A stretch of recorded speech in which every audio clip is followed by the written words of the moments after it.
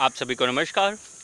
मित्रों, ये जो आप पौधा देख रहे हैं, लता देख रहे हैं, ये जल जमनी है।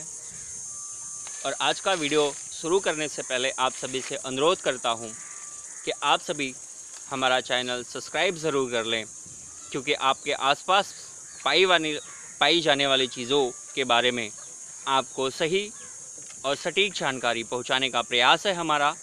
आप ये देख सकते हैं पूरी लता है।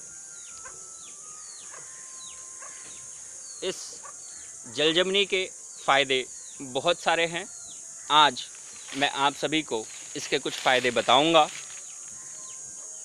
यदि किसी बच्चे को दस्त हो या जुलाब लग रहे हों तो इसके पत्ते का रस आप बच्चे की उम्र के हिसाब से शहद मिला के दे दें तो उससे दस्त रोग में लाभ होता है। और अगर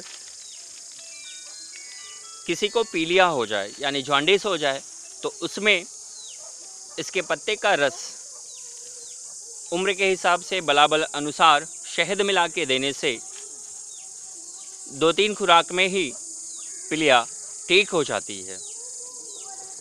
और यदि किसी स्त्री को श्वेत पदर की शिकायत हो, उसमें भी इस जल जमनी का बहुत अच्छा उपयोग है।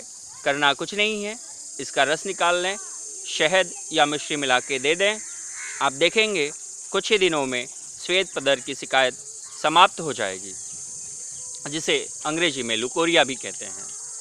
इसी के साथ यदि पुरुषों की स्वप्न दोष या शीघ्र प्रदन इस तरह की कोई शिकायत हो, उसमें भी इस जल जमनी का बहुत अच्छा लाभ है। मित्रों, आशा और उम्मीद करता हूँ कि आप सभी इस वीडियो का पूरा पूरा लाभ लेंगे। जय हिंद, वंदे मातरम।